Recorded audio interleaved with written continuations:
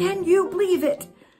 Done. I'm done. Look at, I'm so happy. I think I showed you the whole thing. I just waited because I got the, um, I just put the picture up that came today. Take a, check out the curtains because those were 75 inch curtains. and I hemmed them by hand because I couldn't find my sewing machine in my packing. Look at that. Not bad. But there is a story to go with it.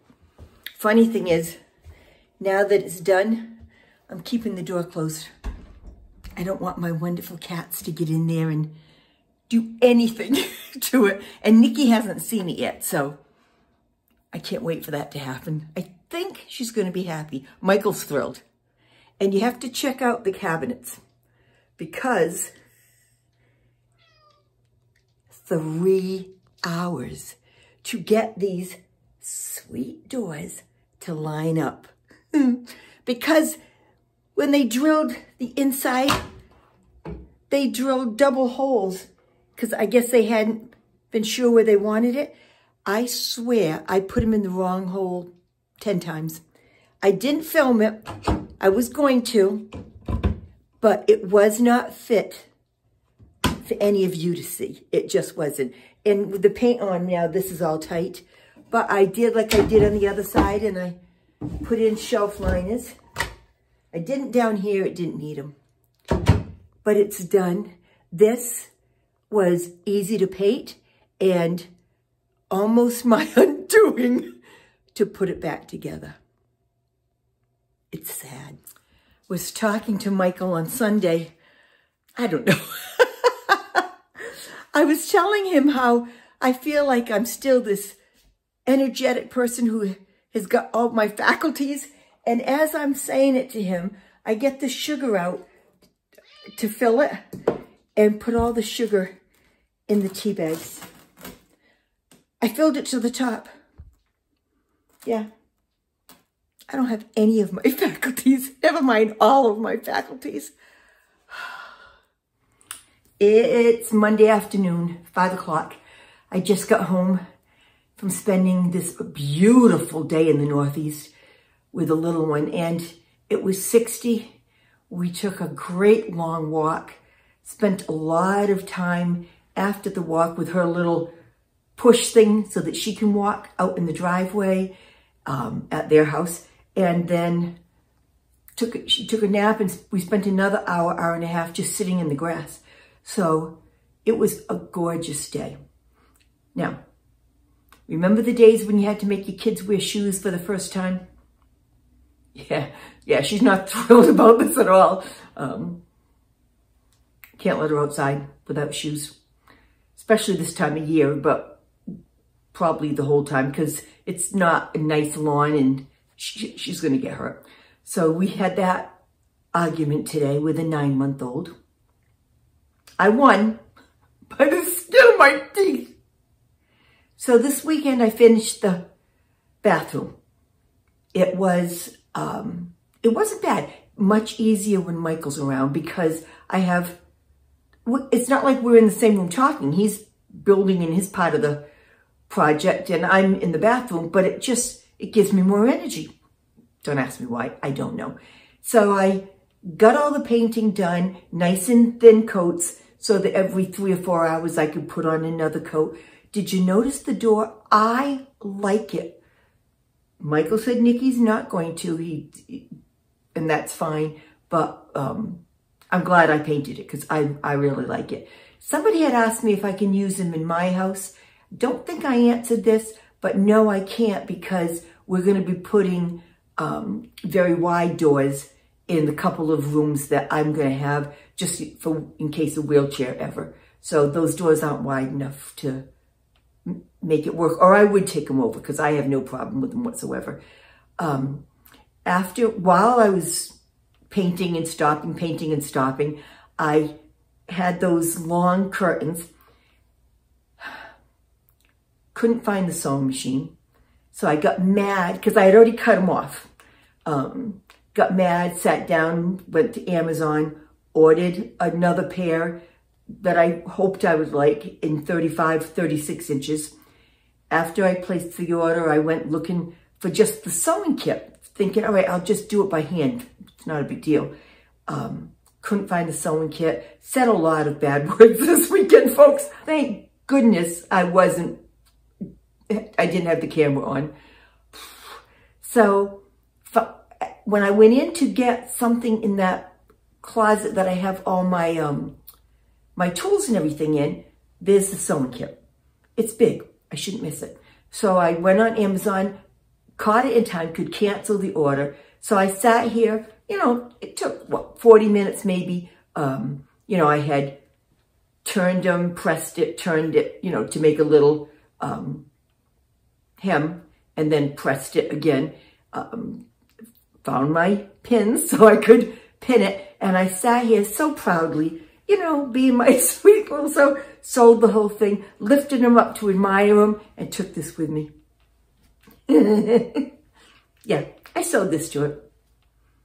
Out comes the seam ripper. but it's done. I'm pleased as punch. Um, as I said, Michael loved it. Bernie came over Sunday afternoon, yesterday afternoon, for a long time. It was, I love talking to my sisters. And let me just say, it wasn't always that way. I've always loved my sisters. I've always liked spending time with them. I haven't always loved spending time with them. I'm extremely stubborn. And there were a lot of times when I was the one that didn't go to family functions, just could not do it. Um, and I will say today, I still have to talk myself into it, and I'm still the first one to leave. But I love talking to my sisters now. And Bernie has been a godsend. Um, they all have, but she's a social worker. So she can walk me through some things with um, elder care for Nikki's situation. She's just been very, very helpful. Let me say that. But once we're not talking about things like that, which we weren't this weekend, we're solving all the problems in the world. If people would li listen, if people would listen to me, I'm telling you,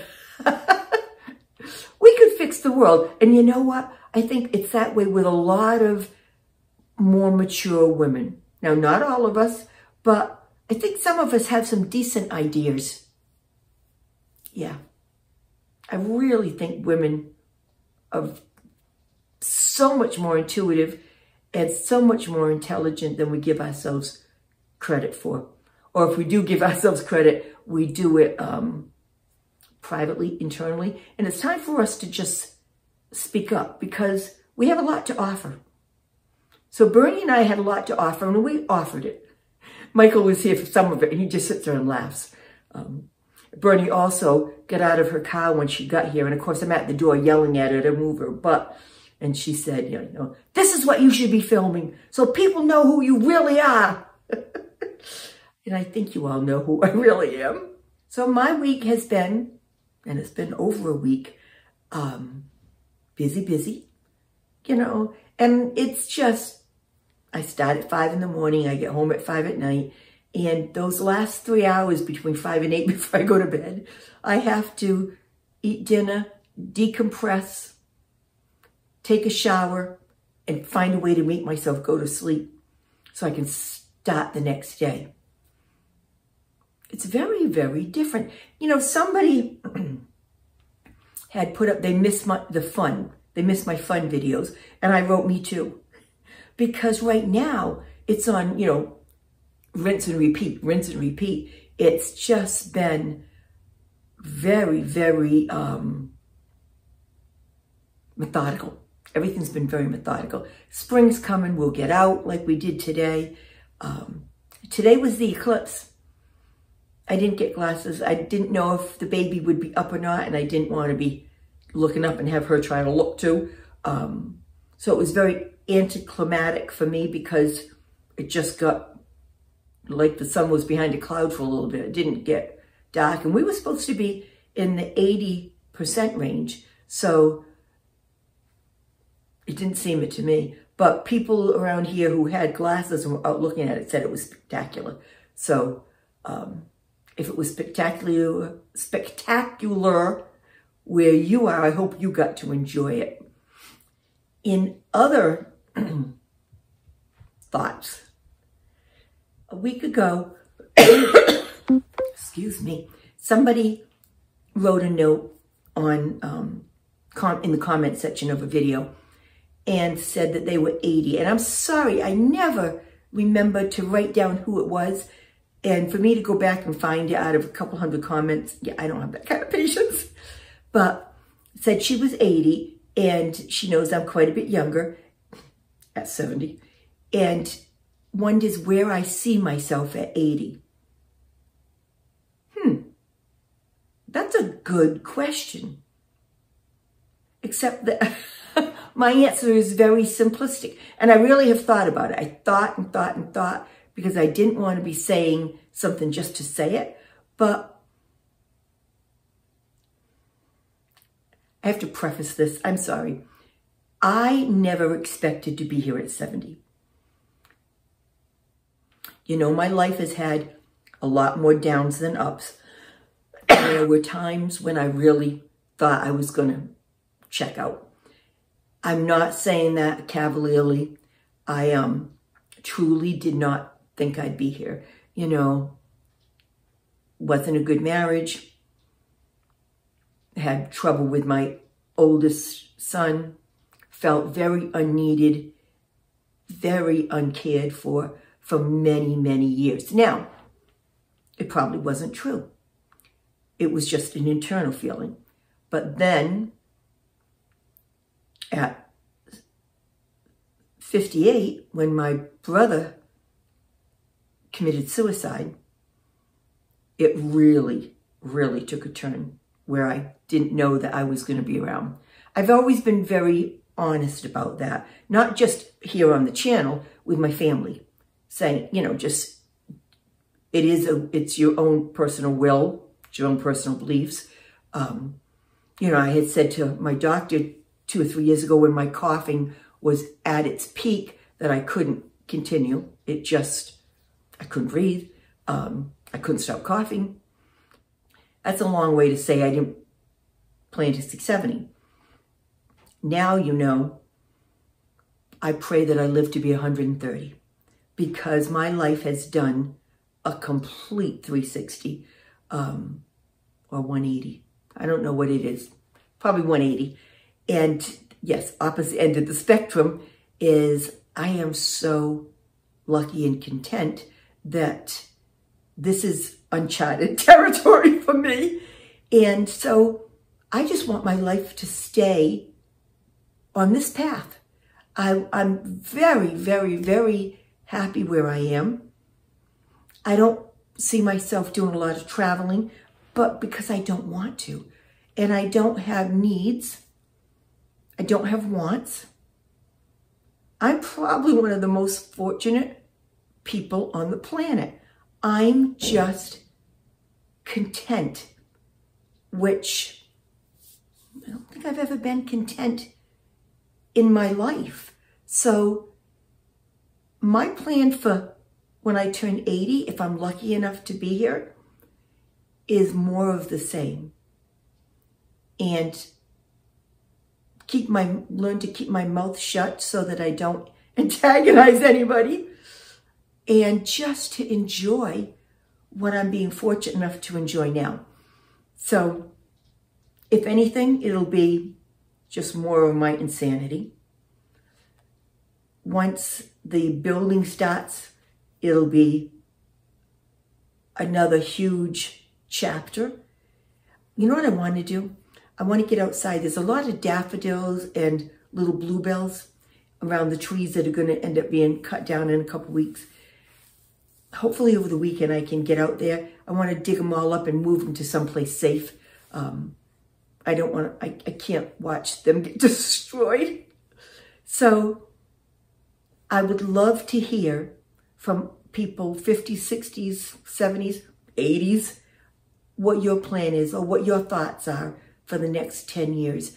Maybe I'm missing something that you'll say, you know, I would, I hope this is what's happening and I can go, oh, me too. Um, cause right now I'm just way too happy. My next project will start over the weekend and I'm going to start working in the room that I'm, I have my bed in. The baby's room. I just said her name and had to edit it out. That's why I look disgusted. And there's a lot of nail holes and things that I want to patch. I asked Michael and then stop painting. I want to paint the doors. So that's what I'm going to do. Nikki is going to be around this week, so I won't be with the baby as much, which is going to be very hard, but I don't have any plans for that either. Maybe we'll get out, um, I was going to say maybe we can get out and take a good walk somewhere, but it's supposed to rain Wednesday, Thursday, Friday, and I'll be with the baby off and on, so we'll see if we can um, work in some exercise. I am walking a mile or so a day with a little one, so that's a good thing. I am going to go make myself some supper. I got a rotisserie chicken yesterday at Hannaford's and I made some mashed potatoes. So that's my, my supper. And I will check in when I can. I know I'm missing in action a lot. But if I don't have anything to say, I'm not going to waste your time. Hope I didn't waste your time today. Have a great week. Enjoy. Write notes. Let me know what's going on. I'm done.